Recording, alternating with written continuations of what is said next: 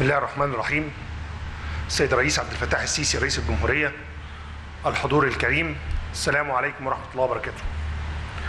آه، اسمحوا لي قبل ما أبتدي موضوع العرض آه، أأكد بس على آه، ما ذكره فخامة الرئيس في موضوع الأعداد.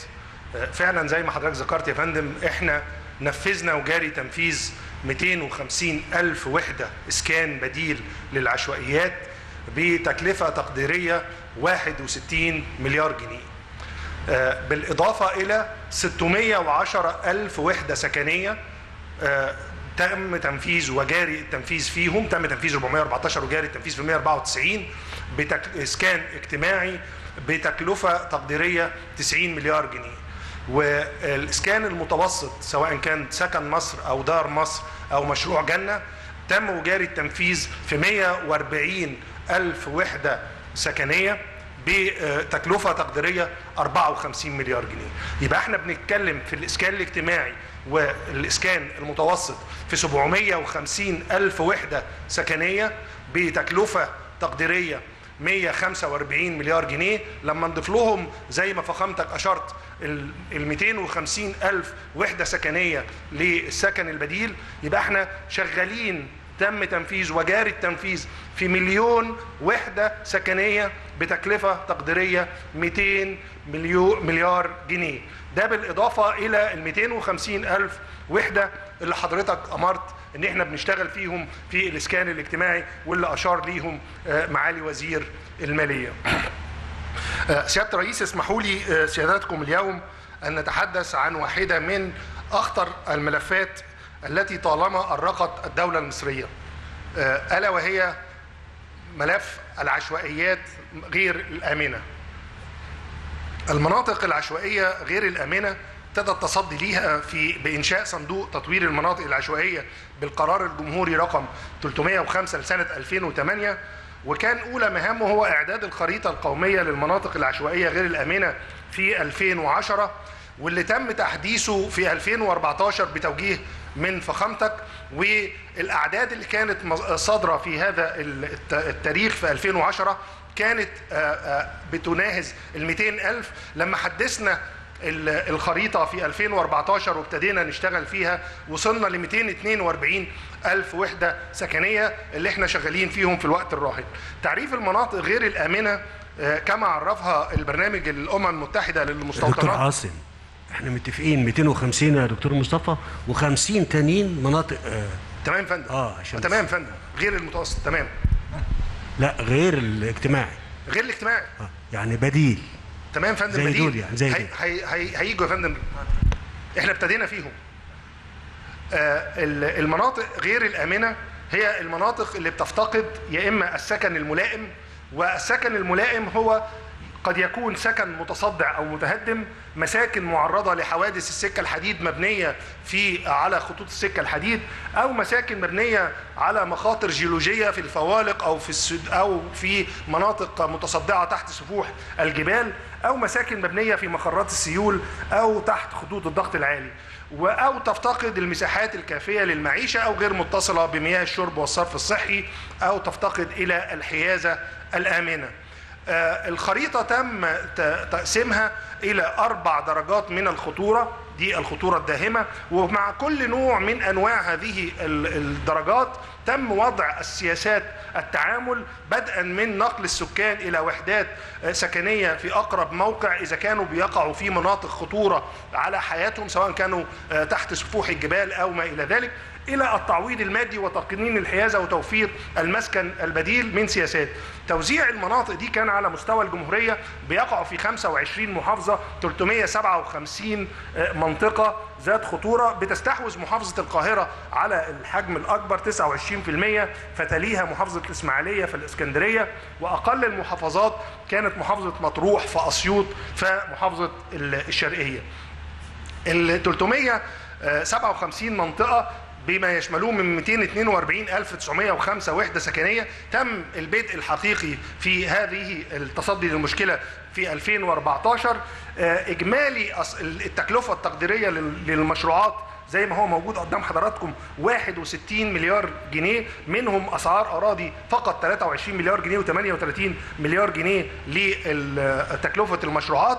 إحنا تم تنفيذ 296 منطقة ب 175897 وحدة سكنية بنسبة 73% وبإذن الله على آخر ديسمبر 2020 هيكون تم الانتهاء من ال 242 905 بالإضافة إلى ال- ده إحنا ابتدينا من الآن في ال- الوحدات الإضافية ل 50000 اللي حضرتك أشرت عليهم سيادة الرئيس.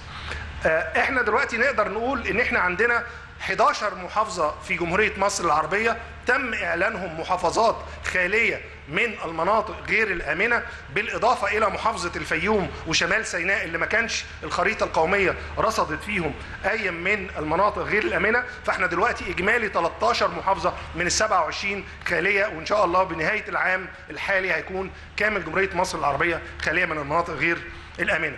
أنا بس عايز هنا أشير لنقطة هامة آه، فخامة الرئيس نوه إليها. إحنا بنتكلم على مناطق الخطورة الداهمة إنما في المناطق غير المخططة. إحنا عندنا 152 ألف فدان من المعمور المصري مناطق غير مخططة. التكلفة اللي محطوطة قدام حضراتكم 318 مليار دي فقط فقط علشان رفع كفاءة البنية الأساسية مش تحويلها إلى بيئة عمرانية مناسبة. القرارات اللي فخامة الرئيس أشار إليها إن إحنا فعلا تعاملنا معاها بنوع من ال ال يعني لا تسمى غير ال ال ال التراخي بعض الشيء في التعامل والتصدي لهذه المشكلة سبب أعباء شديدة جدا على الدولة. ويمكن إحنا كنا في الأسبوع ال- الماضي مع دولة رئيس الوزراء في محافظة الجيزة بنتفقد بعض بعض المحاور فخامة الرئيس اللي بنشقها في مدينه جوه الجيزة عشان نفك التجدسات العمرانية. حجم التكلفة اللي الدولة بتحطها على نفسها عشان نواجه مشكلة واحدة ألا وهي مشكلة سيولة الحركة المرورية؟ بتضع المليارات ال 318 ما فيهمش ابدا فتح محاور الحركة والعمل على تسهيل الحركة المرورية. ففعلا آه، وجود انضباط في العمران هام جدا وزي ما إحنا شفنا القاهرة بتستحوذ على 29% من ال- المشكلة وفي المناطق غير المخططة هي برضو القاهرة بتستحوذ على على الحجم الأكبر من هذه المشكلة. إحنا طبعا شغالين برضو على ملف آخر ألا هو الأسواق العشوائية وجاري تطويرها ولكن الملفين دول مستمرين معانا. هدفنا الرئيسي زي ما فخامة الرئيس وجه إحنا مش عايزين بقى هذه المناطق تنمو وتكبر عن كده. عايزين نحجم هذه المشكلة نتعامل معها ونقضي عليها ولكن لا نزيد من هذه المشكلة ونضع من الضوابط والاشتراطات التخطيطية والبنائية اللي تحد أو تمنع في المستقبل عدم ظهور مثل هذه آه، المناطق. لو خلينا آه، مع حضراتكم نروح كده في جولة في ال 25 محافظة اللي إحنا شغالين فيهم. قد يكون مشروع موضوعات الافتتاحات اللي إحنا بنعملها. بتتكلم على اسكندرية والقاهرة وبعض مشروعات تطوير المناطق غير الآمنة ال- ال- الكبيرة. ولكن خلينا نشوف إحنا شغالين فين على مستوى الجمهورية.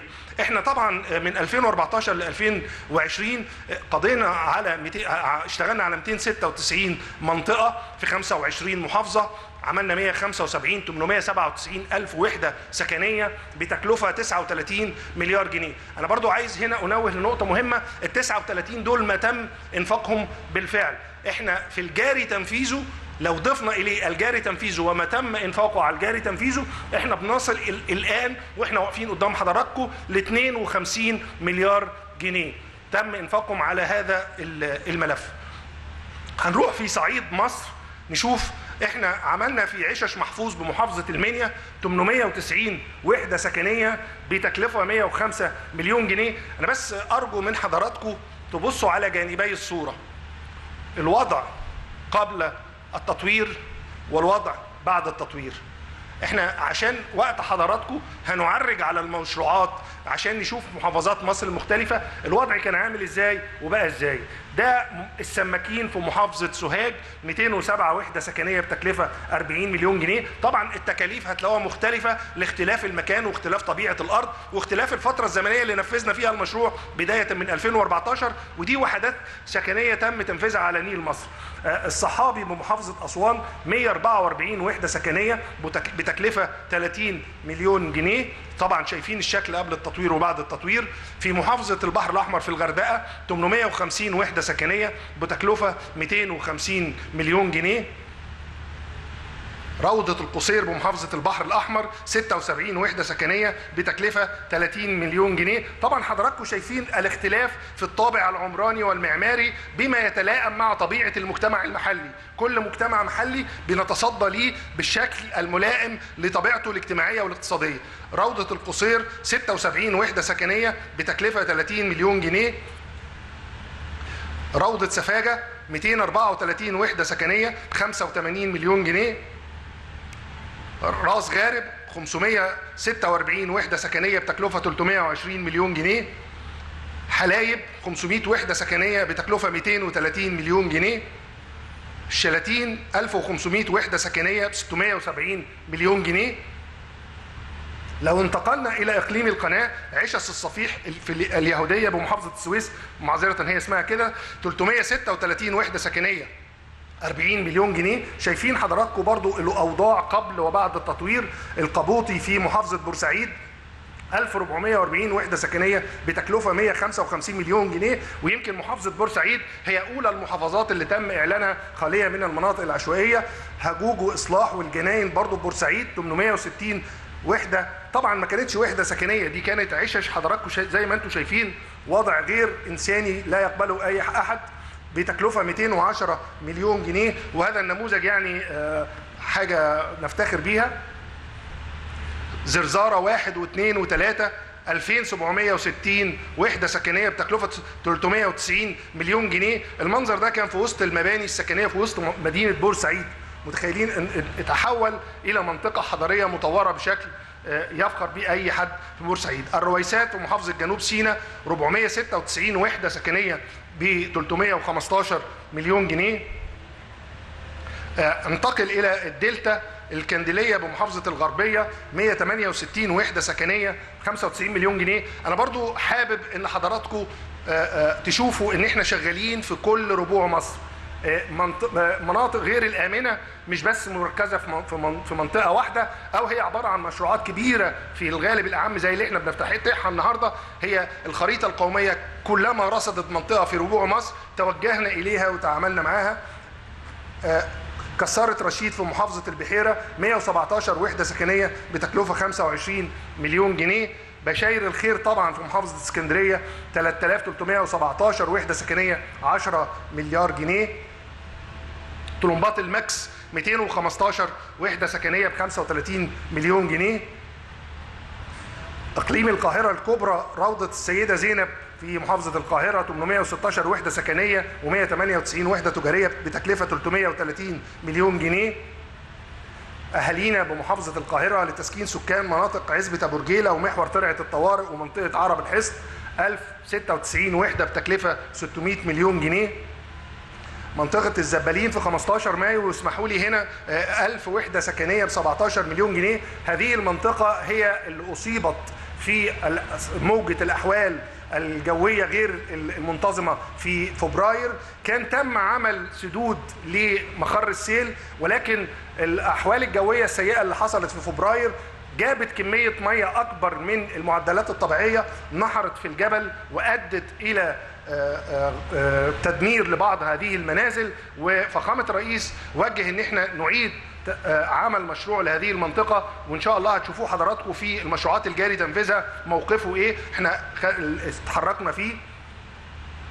المحروسة واحد واثنين 4913 وحدة سكنية و129 وحدة إداري وتجاري ب 940 مليون جنيه. المشروعات الجاري تنفيذها إحنا شغالين في 54 منطقة بتكلفة 22 مليار جنيه ودول إن شاء الله ينتهوا بنهاية العام الحالي. سكن البديل بمنطقة مثلث ماسبيرو 918 وحدة سكنية بتكلفة 1.7 من 10 مليار جنيه. وهنا أنا برضو عايز أقول لحضراتكم مع إن إحنا لسه شغالين في السكن البديل إلا أن المنطقة تم القضاء على الخطورة الداهمة. إحنا مجموعة الأهالي اللي كانت ساكنة هنا يا إما اتنقل جزء منهم الأسمرات يا إما منهم خد تعويض مادي وخد وحدات سكنية عندنا في بعض المدن الجديدة أو بمعرفته واللي هيرجعوا للسكن البديل اللي إحنا بنبنيه لهم في مثلث ماسبيرو بيحصلوا على وح- على قيمة إيجارية لحين الانتهاء من المشروع والعودة. فهو المشروع جاء تحت التنفيذ ولكن القضاء على مشكلة الخطورة الداهمة تم القضاء عليها. مشروع السلام أرض الإنتاج الحربي لتسكين مناطق عزبه أبو قر وبطن البقرة جزئي وعزبة أبو حشيش 4171 وحدة سكنية و475 وحدة إداري و292 وحدة تجاري بتكلفة 1.7 من 10 مليار جنيه. التكاليف اللي مذكورة على كل مشروع هنا دي بدون تكلفة الأرض. تكلفة الأرض مجمعة 23 مليار جنيه. انشاء تجمع بمشروع معا في حي السلام 4416 وحدة بتكلفة مليار جنيه لتسكين مناطق رملة بولاق وبطن البقرة جزئي وعزبة أبو قرن جزئي. أرض الخيالة في البساتين 2520 وحدة سكنية بتكلفة 1 مليار جنيه وإن شاء الله ينتهي في أغسطس 2020 ده تطوير منطقة زهرة 15 مايو اللي إحنا اتكلمنا عنها اللي أصابها مقر السيل آه، فخامة الرئيس وجهنا إحنا بنبني 1008 طبعا ال 1008 وحدة مش هم اللي أصابهم ال- ما تم إصابته في الأحوال الجوية السيئة م- آه، تقريبا 300 و- وحدة سكنية فخامة الرئيس وجه إن إحنا نبتدي نشتغل في عدد أكبر من اللي تم إضرارهم والموقع يت- يتحمل امتدادات مستقبلية مخططة مش بس آه، مناطق يسكنوا فيها. إحنا وصلنا للدور الثالث فخامة الرئيس زي توجيهات حضرتك. وإن شاء الله زي ما آه، آه، وعدنا فخامتك في مارس 21 هيكون تم الانتهاء من هذه المنطقة. أنا بس عايز اسمح لي يا دكتور عاصم. اقفوا عند الرقم بتاع 1000 وحدة ب 600 مليون جنيه. يعني الوحدة السكنية متكلفها 600 ألف جنيه. تمام. الوحدة السكنية متكلفه 600 ألف جنيه بدون ثمن الأرض والمرافق إذا كنت فاهم. صحيح فندم. أنا بقول كده للمصريين ليه؟ يعني ده معناه إن الدولة المصرية بكل ظروفها الصعبة ديت وقفت جنب أهلها وبتدي الشقة اللي ثمنها 600 ألف جنيه لمواطن عشان هو كان عايش في منطقة خطرة آه سواء بقى الدولة خدت بالها منه ولا ما خدتش على مدى السنين اللي فاتت. لكن لما حصل آه آه خطر تدخلنا بقول 600 ألف جنيه. 600 ألف جنيه دول لما يتحطوا في البنك يجيبوا تسع آه، مش كده ولا 9000 جنيه في السنة. ولا ولا في السنة الشهر. كام 9000 جنيه في الشهر. مش كده. تمام يا فندم 9000 جنيه في الشهر. يبقى دي بطاقة التموين ولا ده الخبز؟ مصر وقفت جنبك؟ مصر وقفت جنبك؟ مصر طبطبت عليك؟ ولا لا؟ أنا بقول كده مش من لأن ما حدش بيجيب حاجة من من جيبه يعني. لكن ده بلدنا عملت ده مع أهلها. فأنا بقول طب ال ال الميسور اللي ما خدش. خلاص الحمد لله إنك أنت يعني مش محتاج. لكن الباقي ده نسيبه كده زي ما كنا زي ما كان موجود. أنا حبيت بس أقف وهتلاقي لو كل نسبة من النسب اللي اتطرحت قدامكم في كل وحدة سكنية آه، يمكن كانت في 2014 دي الشقة دي ب 300 ألف جنيه قبل ال- التعويم. لكن النهارده إحنا بنعملها في الظروف بتاعتنا. بقول 600 ألف جنيه للشقه 600 ألف جنيه يعني 90 ألف جنيه في السنة. مش كده؟ يعني يا ترى بقوله مش من ولا حاجة ولكن أنا بحب دايما أشاور على بعض الموضوعات الصغيرة خالص ننتبه لها اللي بيتفرجوا معانا بيشوفوا الكلام ده ولما البرامج تتكلم ينتبه إن كل اللي بنتكلم عليه ده لما تيجي تتكلم في 250 ألف شقة بتقدمهم للناس. انت الثمن اللي انت بتاخده انت بتاخد حق الصيانة عشان ال... نفضل نحافظ على الأسانسير اللي موجود وعلى ال... يعني الحالة الفنية اللي عليها المنشآت. لكن إحنا ما بناخدش مقابل منك. إحنا ما بناخدش مقابل منك. لو ناخد مقابل منك يبقى الشقة دي إيجارها 5 6000 جنيه في الشهر. اتفضل يا فندم. اشكرك يا فندم. آه، يعني برضو آه، لو تسمح لي فخامتك إحنا بنتكلم على 600 مليون جنيه. دون إضافة تكاليف الخدمات التعليمية والصحية والاجتماعية اللي موجودة في المنطقة غير تكاليف فرص العمل. حضرتك زي ما أمرت المنطقة فيها أحواش لنموذجية لتربية ال- ال- ال- الحيوانات الخاصة بهذه الفئة بيتم التنسيق فيها مع وزارة التنمية المحلية ووزارة البيئة ووزارة التضامن الاجتماعي كما إن فيها مناطق لصناعة الفرز والت- والمخلفات الصلبة عشان يبقى المكان عبارة عن وحدة إنتاجية ليس فقط مكان إقامة غير لائق ولكنه تحول لمكان إقامة لائق بفرصة العمل المناسبة لطبيعة السكان ولوظيفتهم. مشروع أهالينا اتنين لتسكين سكان المناطق العشوائية التي يتم فتح المحاور فيها ودي برضو لو تسمح لي فخامة الرئيس أنا عايز أتوقف هنا على م- ألف آه، مليار وثمانية مليون جنيه إحنا بنبني بيهم في في منطقة أهالينا اتنين في السلام عشان مشروعات التطوير اللي بتقوم بيها الدولة من شق المحاور قد يكون آه، في محافظة القاهرة فقط ببعض الوحدات بنضطر لإزالتها فهذه المناطق معمولة لتعويض السكان اللي بيضاروا من فتح المحاور. فإحنا مش بس تكلفة محاور الطرق وإنشائها هي التكلفة المباشرة اللي على الدولة ولكن أيضا تكلفة السكن البديل لهذه المحاور والكلام ده موجود هنا. ده لسكان محافظة ال- القاهرة. وهنقول برضو لحضراتكم ما يتم في محافظات مصر المختلفة في كل محافظة منطقة بنعملها دلوقتي حاليا بتوجيهات فخامة الرئيس وتوجيهات رئيس دولة رئيس الوزراء عشان المناطق اللي بيتم فيها فتح محاور التنمية. عشان كده بنقول مشكلة العشوائيات بتضع أعباء كثيرة جدا على الدولة للقضاء على بعض آثارها وليس آثارها كلها. تحويل كابلات ضغط عالي آه، وهوائية في منطقة السلام 11200 وحدة سكنية تحت خطوط الضغط العالي. تكلفة 750 مليون آه، جنيه بتخدم 56 ألف نسمة موجودين في 12 منطقة تطوير وإن شاء الله بنهاية الشهر الحالي بيتم الانتهاء من هذا الموضوع. لا عايزين نشرح لهم النقطة ديت يا دكتور عاصم والدكتور شاكر موجود معانا. أنا بس عايز أقول لل- للناس اللي موجودة معانا هنا في القاعة واللي بتتفرج علينا إحنا نتيجة إن البناء غير المخطط كانت الناس بتبني تحت العالي. خطوط الضغط العالي وده كان ليه تأثير آه، مضر جدا على الصحة العامة للناس اللي ساكنة بالطريقة ديت آه، فقلنا لا إحنا مش هن... البرنامج من ضمن.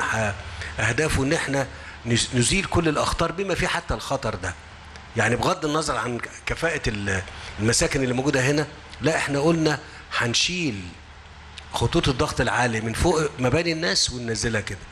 ال 11000 وحدة دول عشان نعمل الكابلات تحت كده بتكلفنا مليار إلا ربع. مليار إلا ربع. أنا بس عايز أقول ليه في ال في ال في اللقاء الأولاني أو في الجزء الأولاني من اللقاء لما قلت إن إحنا مش هنسمح مرة بالم- بالمخالفة لأن إحنا ثبت بالتجربة إن إحنا لما نتصدى ونعمل للناس مباني متخططة وفيها كل الاشتراطات أقل تكلفة علينا من إن إحنا نواجه آثارها. صحيح وآثارها بالمناسبة ما تقدرش كل حاجة نقدر نعملها. أنا بس عايز أقول لكم لو شفتوا أي مباني محيطة بالمباني اللي الدولة بتعملها سواء كان إسكان لمناطق خطرة أو إسكان اجتماعي أو إسكان دار مصر لن تجدوا حد بيعمل مشروع وأنا آسف إني بقول كده. عدا طبعا المطورين العقاريين الكبار يعمل مشروع بالشكل ده ويقعد يجهز البيت أو العمارة بالشكل ده والمناطق المحيطة بيها والطرق وكلام من هذا القبيل. فخلونا إن إحنا نتوقف بقى عن موضوع البناء ال- الغير المخطط ونبتدي ننظم بلدنا وهنتيح لكم الفرصة للناس اللي عايزة آه، شقق هتاخد شقق. الناس اللي عايزة تاخد وتعمل مشاريع وتبيع للناس هنتيح لها في اشتراطات محددة. بصراحة بصراحة إحنا هنكون حازمين واشتراطات البناء اللي هتتعمل هتبقى في منتهى منتهى الحزم والقسوة لغاية لما نتغلب على اللي إحنا فيه ده. اللي إحنا فيه ده أمر مش موجود غير في بلدنا. أو في البلاد اللي زينا وإحنا ما نقدرش نستحمل كده. استحملنا آه، السنين اللي فاتت 10 العشر سنين اللي فاتوا على الأقل من 2011 حجم التمدد اللي كان زيادة عن اللزوم. أنا عايز أقول لكم على حاجة. إحنا بنتكلم على إن إحنا عايزين نوصل الطريق ال- بتاع الوفاء والأمل يا دكتور مصطفى. الوفاء والأمل لغاية طريق السويس. الطريق ده عشان آه، آه، في البناء غير رغم إن الطرق دي كانت موجودة بالمناسبة كل الطرق اللي إحنا بنتكلم عليها دي طبقا لخطة الدولة في شبكة الطرق القومية اللي منين؟ مش أنا اللي عملتها. دي حاجة معمولة متخططة على إنها تتعمل في مصر خلال ال 20 30 سنة من 20 30 سنة اللي فاتوا. لكن الناس ما عملتش. عشان أشيل ده في أهلنا في في المكان اللي هو مش عايز أقول الاسم يعني آه عايزين 2000 وحدة. 2000 وحدة يعني أكتر من آه من مليار جنيه ولا مليارين جنيه مش كده يا دكتور حسن؟ فندم. عشان أفتح طريق 2 كيلو.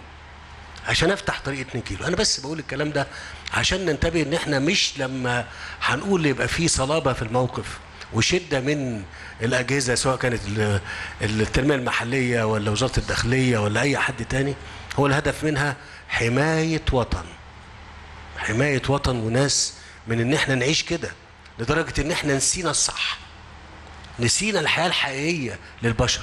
اتفضل يا فندم. يعني آه، برضو في هذا ال- ال- الموضوع بنوجه الشكر لوزارة الكهرباء والدكتور شاكر. طبعا المبلغ دوت مخفض 150 آه، مليون جنيه تكاليف وزارة النقل وزارة الكهرباء آه، خدتها على عاتقها حيث إن المشروع لخدمة المناطق غير الآمنة. مشروع تطوير عيش الشارع السودان وتخيلوا ده حضراتكم المنظر ده كان موجود في المهندسين. 120 وحدة سكنية بتكلفة 25 آه، مليون جنيه. مشروع تطوير منطقة آه، سن العجوز إنشاء 104 عمارة بحدائق أكتوبر. إحنا في آه، منطقة سن العجوز طبعا عدد الوحدات السكنية اللي فيها أقل من ال 2500 بكتير إنما فخامة الرئيس ودولة رئيس الوزراء وجهونا إن إحنا نعمل هذه المنطقة لاستيعاب برضو أي آه، زيادات أو أي أعمال تطوير في محافظة الجيزة. إحنا شغالين في 2500 وحدة بتكلفة مليار وربع. إن شاء الله ننتهي منهم في مارس 21 وإن شاء الله في أغسطس القادم الشهر القادم بنبتدي في 2500 وحدة آخرين في هذا الموقع. الموقع في حدائق في حدائق مدينة حدائق أكتوبر عشان يبقى 5000 والنبي يا دكتور سيب الصورة دي دقيقة كده نتفرج عليها. سيب الصورة دي نتفرج عليها. ده اللي إحنا كنا فيه. وده اللي إحنا رايحين له إن شاء الله. ده اللي إحنا بنيناه يا فندم. دي صورة أنا عارف. أنا عارف أنا أنا عارف. أنا بقول بس سيبهم من فضلكم ما تنسوش الصور دي. وما تردوش إنها تتكرر تاني. ما تسمحوش إنها تتكرر تاني. شكرا. شكرا يا فندم. منطقة عزبة حرب آه، بحري وقبلي في بولاق الدكرور 180 وحدة سكنية بتكلفة 45 مليون جنيه. تطوير منطقة بمدينة حلايب دي مرحلة تانية جاري التنفيذ فيها. 500 منزل بتكلفة 230 طبعا شايفين إحنا 500 منزل تكلفتهم 230 مليون مليون جنيه لأن إحنا بننزل بنبني مباني منفصلة تت- تتلائم مع آه، طبيعة السكان المحليين في المنطقة. وفي الشلاتين أيضا 1500 منزل بتكلفة 670 مليون جنيه جاري العمل فيهم. مدينة العمال بالمنيا 414 وحدة سكنية و44 وحدة تجاري 80 مليون جنيه. إن شاء الله تنتهي منهم هذا الشهر. آه، 62 منزل بدوي ومحطة صرف صحي في الطور في جنوب سيناء. 62 وحدة سكنية بتكلفة 55 مليون جنيه. عشان 62 وحدة بس. يعني إحنا مداخلين على 900 ألف جنيه تكلفة الوحدة البديلة آه، الواحدة. وتنتهي إن شاء الله في في الشهر الحالي. إنشاء عمارات سكنية بمنطقة الطابية بمحافظة مطروح. 64 وحدة سكنية بتكلفة 40 مليون آه، جنيه. منطقة تطوير آه، شمال وجنوب الصيادين بمدينة راس البر. وأنا برضو حابب أتوقف هنا. دي 220 وحدة سكنية. ده المنظر قبل التطوير وده المنظر بعد التطوير. تكلفة 95 مليون جنيه. لو سمحت إن شاء الله الشهر ده ينتهي. ده المنظر حضراتكم على نيل مصر في حتة من أحلى بقاع مصر. اتنقلوا من هذا المكان إلى هذه ال- الع- العمارات السكنية. سيادة الرئيس لعل هناك عدة رسائل مهمة ونتائج أفرزتها التجربة المصرية في تطوير المناطق غير الآمنة والعشوائية. اسمحوا لي آه، أستعرض مع حضراتكم أهم هذه الرسائل. الرسالة الأولى وتتعلق بثق- بثقة المواطن المصري في إدارته.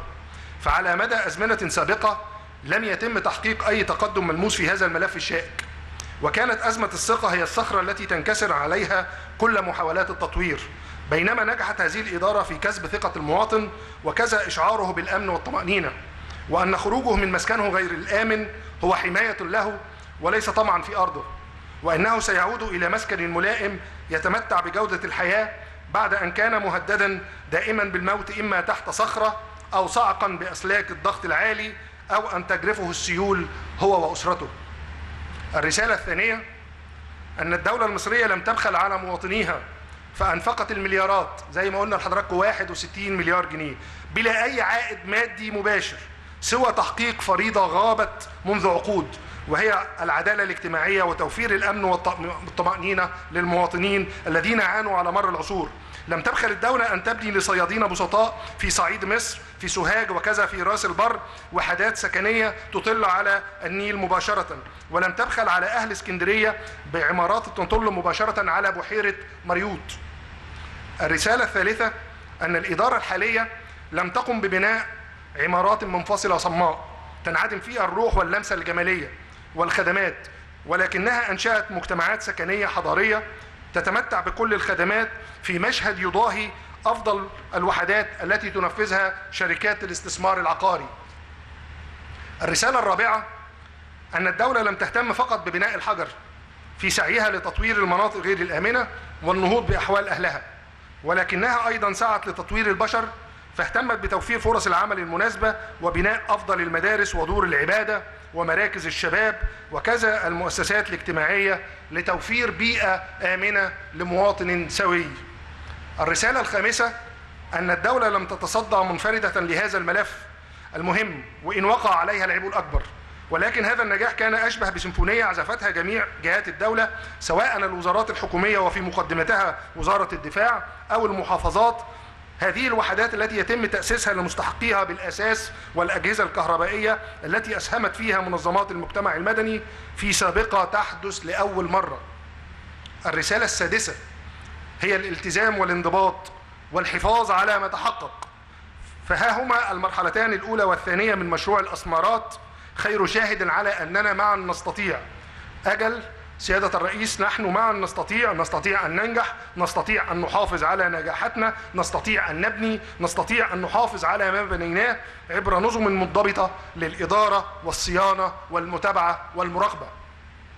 الرسالة السابعة والأخيرة واسمح لي سيادة الرئيس أن أقتبسها من عبارات سابقة لفخامتكم.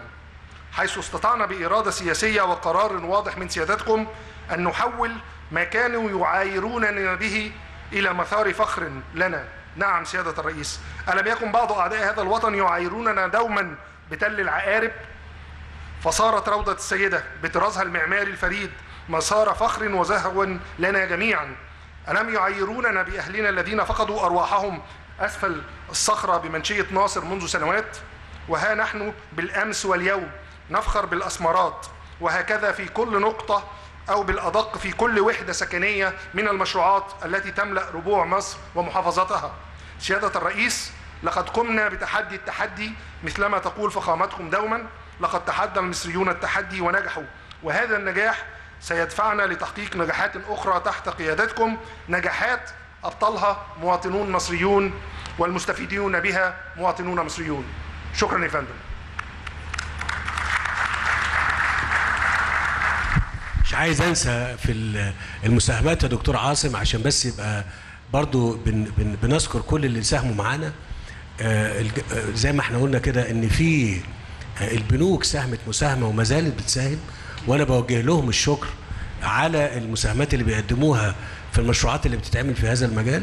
برضو بشكر طبعا صندوق تحيا مصر اللي هو عبارة عن وعاء المصريين كلهم أو يعني بيقوموا بمساهماتهم فيه وده بيشارك في هذه المشاريع برضه حتى وعناصر وتأسيسها. ثم طبعا وزارة الإسكان أو هيئة المجتمعات العمرانية هي بتتحمل العبء الأكبر عشان نطلع بال نطلع بالحالة أو بالمنظر اللي إحنا شايفينه ده. أنا بس مش عارف إحنا في المكان اللي إحنا موجودين فيه ما أعرفش اللي حوله ده دكتور مصطفى هيبقى مقبول ولا لأ. في عندنا هنا منازل أو إسكان بيسموه زلزال واحد واثنين وثلاثة. مش كده. هو هو هو كم أوضة؟